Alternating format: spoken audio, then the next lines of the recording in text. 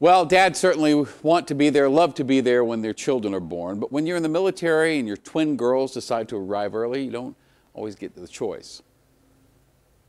Yeah, they don't get a say. But as we got to see firsthand today, when dad finally gets a chance to meet those newborns, there is nothing better. For Ken and Erin Meich, it felt for a while like this day may never arrive. Did you some mass? Everybody feeling okay? Yes. Oh, yes. Good. Ken was in the Middle East when his girls were born. And after two weeks in quarantine in Wyoming, he's got plans. He's gonna go see some babies.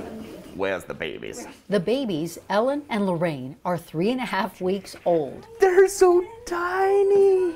Hi, Ellen. How's it going? He's tiny and adorable. And stretching.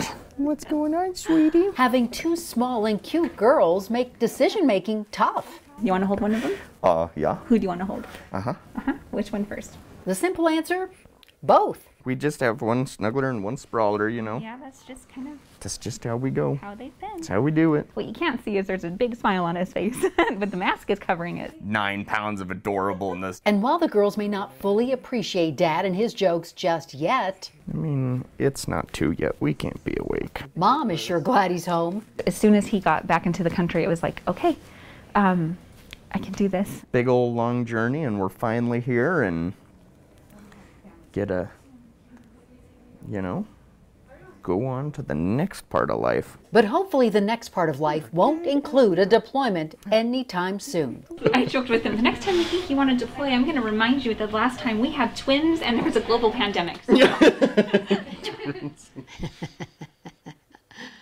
Beautiful. Well, Helen, Helen, excuse me, Ellen and Lorraine, they still need to get a little bit bigger before they can leave the NICU at Rocky Mountain Hospital for Children. Just beautiful. But their parents hope all four can soon be home in Casper.